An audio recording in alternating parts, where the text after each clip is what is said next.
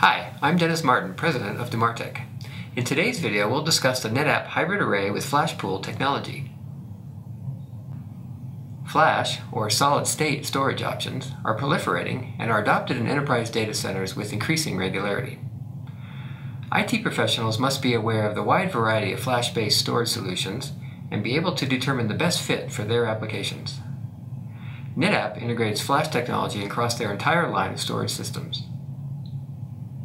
The NetApp intelligent caching solutions include Flash Cache Controller Caching using PCIe devices for FAS and V-Series, FlashPool SSD caching for FAS and V-Series, SSD cache for E-Series systems.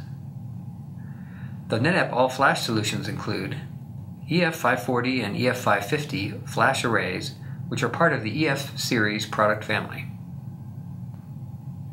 FlashPool accelerates storage performance for volumes by acting as a volume cache. Cluster Data ONTAP provides highly available storage system resources for host applications and clients. For FlashPool, we ran a database workload with different numbers of SAS and SATA interface hard disk drives with FlashPool acceleration. We also tested Cluster Data ONTAP storage performance during a cluster node failover. When testing FlashPool, we achieved steady performance after an initial startup period for each hard drive configuration. The most interesting performance characteristic that we noticed with FlashPool was the significant latency improvement.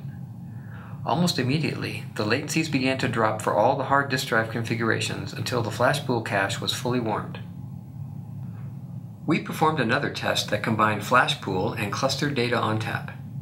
For this test, we ran a database workload with a two-node cluster data ONTAP configuration, and then failed over the cluster so that it was running on one node only.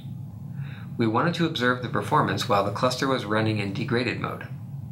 We found that once the failover process was complete, the IOPS and bandwidth performance were the same as they were with both nodes of the cluster running normally.